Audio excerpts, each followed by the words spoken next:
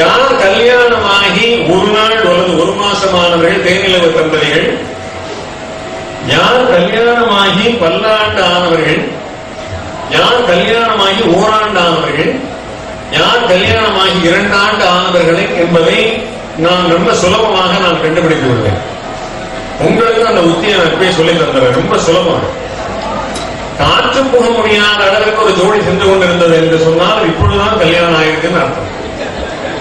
ஒரு அடி இடங்களை விட்டு நடந்து போயிட்டு இருந்தாங்கன்னா கல்யாணம் ஆகி ஒரு வருஷம் ஆச்சுன்னு. ரெண்டு அடி இடைவெளி விட்டு நடந்துட்டு இருந்தா கல்யாணம் ஆகி ரெண்டு வருஷம் ஆச்சுன்னு.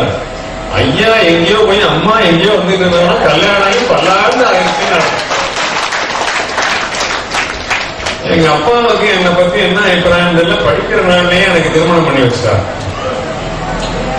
எம்ஏ தேர்வு ஏப்ரல் நாங்க எழுதின காலத்துல ஏப்ரல் தான் தேர்வு. எம்ஏ தேர்வு ஏப்ரல்ல பிப்ரவரியில கல்யாணம். ஒரே ஆண்டு.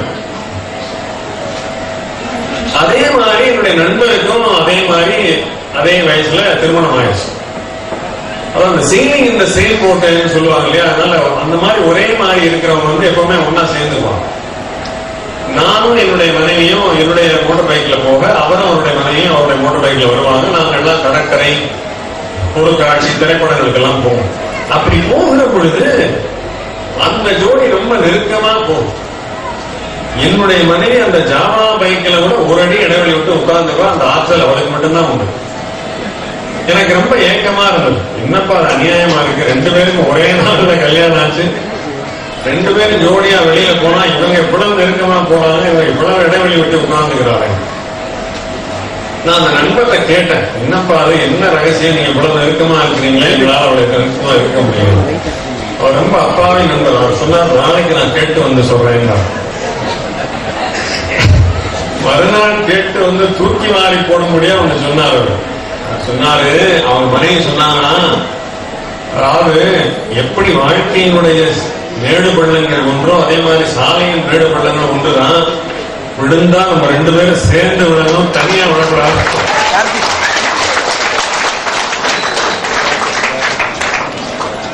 ஜப்பானுக்கு நான் போயிருந்தேன். ஒரு டாக்ஸிகளை பயணம் செய்தேன். ஜப்பானிய ஜப்பானிய ஓட்டுநர்களுக்கு சுட்டு போட்டாலும் ஆங்கிலம் வராது. நான் சொல்றது எண்பத்தி எட்டுல இப்ப கொஞ்சம் கொஞ்சம் ஆங்கிலம் பேசுறாங்க பரவாயில்ல. எண்பத்தி எட்டுல நான் போன போது ஒரு டாக்ஸியில ஒரு அதிசயம் கண்டேன். அவரு அந்த ஓ- அந்த ஓட்டுநர் தன்னுடைய ஸ்பீடாமீட்டர் கார்ல ஸ்பீடாமீட்டர்ல தன்னுடைய குடும்ப புகைப்படத்தை ஒட்டி வச்சிருந்தார். எனக்கு ரொம்ப வியப்பாக இருந்தது. குடும்ப படத்தை வைத்துக் கொள்வதற்கு பர்ஸ் இருக்கிறது பாக்கெட் இருக்கிறது நீங்க எங்கெங்கெல்லாமோ வச்சுக்கிறவங்க இருக்கிறாங்க. அது எப்படி ஸ்பீடாமீட்டர்ல போய் ஒட்டி வச்சிருக்கிறேன்னு நான் கேட்டேன். கரெக்டா பச்சையில முடியிற இடத்துல அது ஆரம்பிச்சு சிகப்பு முடியுது பாருங்க அந்த இடத்துல கரெக்டா அந்த மஞ்சள் பகுதியை மறைக்கிற மாதிரி ஒட்டி வச்சிருந்தாங்க நான் கேட்டேன் என்னையா எவ்வளவு இடம் இருக்கு? எதுக்காக ஐயா ஒட்டி வச்சிருக்கீங்க? கேட்டு வாங்கறதுக்குள்ள எனக்கு உயிரே போயிடுச்சு. ஆனா உங்களுக்கு நான் சுலபமா சொல்லிடுறேன். இந்த வாகனம் ஓட்டுகிறவர்கள் எல்லாம் அவசியம் தெரிந்து கொள்ள வேண்டிய தத்துவத்தை அவர் சொன்னார். அவர் சொன்னாரு ரொம்ப அருமையான விஷயம் அவர் சொன்னது. நான் வேகமாக போகிற பொழுதெல்லாம் எனக்காக மூன்று ஜீவன்கள் வீட்டிலே காத்திருக்கின்றன என்கிற உணர்வை பெறுவதற்காக ஒட்டி வைத்திருக்கிறேன் என்ன அருமையான இவரெல்லாம் ஒரு குடும்ப தலைவர். அதாவது இந்த புகைப்படத்தை விட்டு அவர் விலைக்கு போறாருன்னா இந்த ரெட்டை நோக்கி போறாருன்னா உடனே டேஞ்சர் நோக்கி போறாருன்னா குடும்பத்தை விட்டு விலைக்கு போறாரு. அதுக்காக இங்க ஒட்டி வச்சிருக்காங்க. சரி நான் சென்னைக்கு வந்தேன். எப்பொழுதும் என்னை வரவேற்றுக் கொள்கிற என் இளவல் ரவீந்திரன் அவர் வெளியூர் போயிருக்காரு. ஒரு டாக்ஸிகள் விமான நிலையத்திலிருந்து என்னுடைய வீட்டுக்கு போக நேர்ந்தது.